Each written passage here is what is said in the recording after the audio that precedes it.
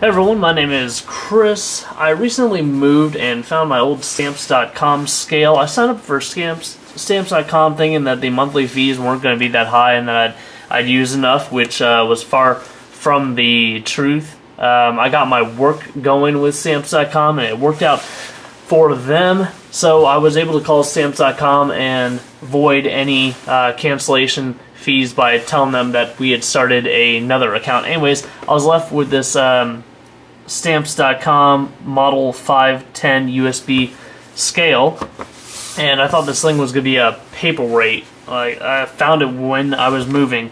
Um, hooked it up, really couldn't uh, get it to work.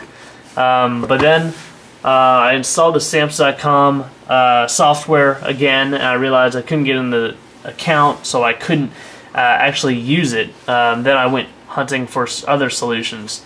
Um, the stamps.com software will get the USB drivers installed, uh, no problem. So uh, search stamps.com download to find that. It has a the 510 has a uh, little light on the front to show you that it's on. There's the switch in the back.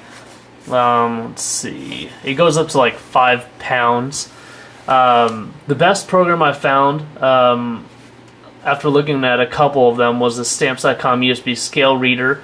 Uh, I'll put the link in the description below. This one was brought to you by Madman29729.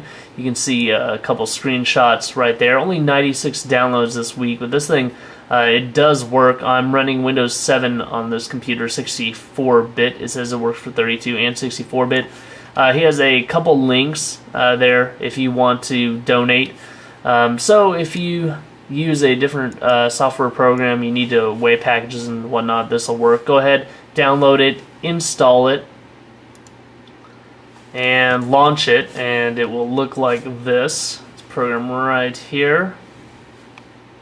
Now it's saying 409 pounds. For some reason, sometimes it doesn't zero out. Let's turn the scale off, turn it back on. We've got zero pounds. Now, something really light like two SD cards, not going to register. Let's go with my GoPro. 3.6 ounces. Stabler,